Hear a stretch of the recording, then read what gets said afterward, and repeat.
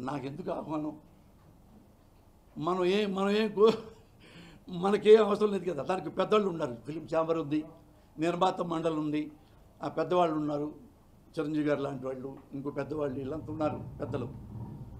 వాళ్ళు ఎందుకంటే మనం చూసాం అప్పుడు సినీ కార్మికులకి ఆ కొన్ని కోట్లు వసూలు చేసి అందరికీ పాపం ఇళ్ళకి బియ్యం కందిపప్పు ఆయిల్ పంచదార దగ్గర నుండి పంపించారు చాలామందికి. నాకు కూడా నాకు తెలిసినంతలో చేశా. నాకున్న కెపాసిటీలో కొంతమందికి ఒక యాభై మందికి.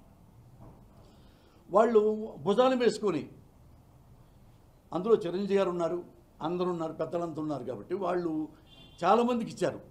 చాలామంది చెప్పారు నాకు మేనేజర్ సార్ మా ఇంటికి బియ్యం అన్నీ వచ్చినాయండి ఓ నెల సరిపడి వచ్చినాయి కరెక్ట్గా అన్నారు. అట్లా చేస్తున్నారు గుడ్ థింగ్స్. ఇప్పుడు వీళ్ళందరూ కలిపి ముందు కేసీఆర్ గారి దగ్గరికి వెళ్ళారు. కేసీఆర్ గారికి ఈ ప్రాబ్లమ్స్ ఉన్నాయి. షూటింగ్ చేసుకోవడానికి మాకు ఇటు పర్మిషన్ అంటే ఇస్తారని కేసీ గారు చెప్పారు. కాదు లిమిట్ పీపుల్తో చేసుకుంటామంటే లిమిట్ పీపుల్లో చేయక్కర్లా మీరు? మీ మీ మీకు ఎంత అవసరం అంత పెట్టుకోండి. అదే జాగ్రత్తగా ఉండండి అని చెప్పడం జరిగింది.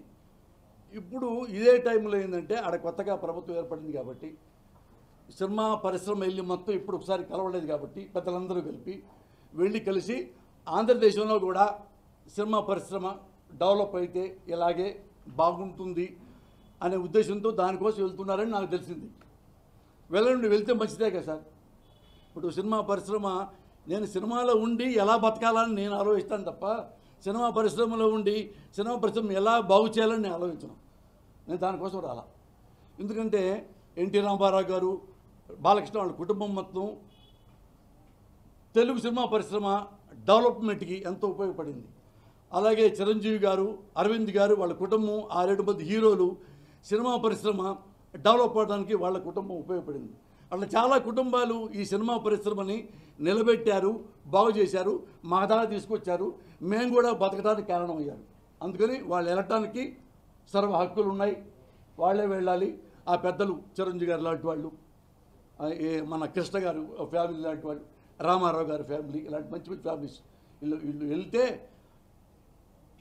జగన్ గారు వీళ్ళకి ఏం కావాలో అడిగి అవన్నీ చేసే అవకాశాలు హండ్రెడ్ పర్సెంట్ ఉన్నాయి.